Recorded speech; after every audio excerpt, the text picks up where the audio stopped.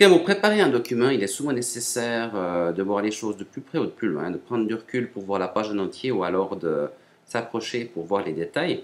Alors pour ça, vous avez la fonction zoom qui se trouve tout d'abord au coin en bas à gauche ici. Là, vous avez une vue à 150%. Vous pouvez choisir une vue euh, beaucoup plus éloignée ici à 50% par exemple, ou alors beaucoup plus proche à 300%. Vous pouvez ajuster à la largeur. Donc là, j'ai choisi une largeur qui est jusqu'ici. Vais ajuster ma page pour qu'il prenne toute la largeur. Si j'ai une largeur plus grande, eh ben, il va s'ajuster aussi à la largeur. Je peux ajuster la page pour voir la page en entier. Je peux également lui dire de voir les deux pages à la fois au lieu de voir une seule page. Comme ça, j'ai un aperçu euh, assez global de mon travail.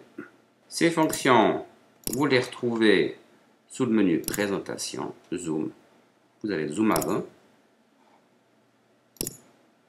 le Zoom arrière, la vue à 100%, on y est déjà, l'ajustement sur la largeur de la page, ou alors l'ajustement sur la page complète ici.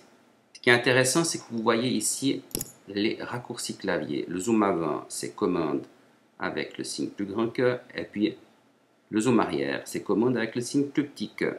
Je vais tester. Ici, commande plus petit que, je m'éloigne.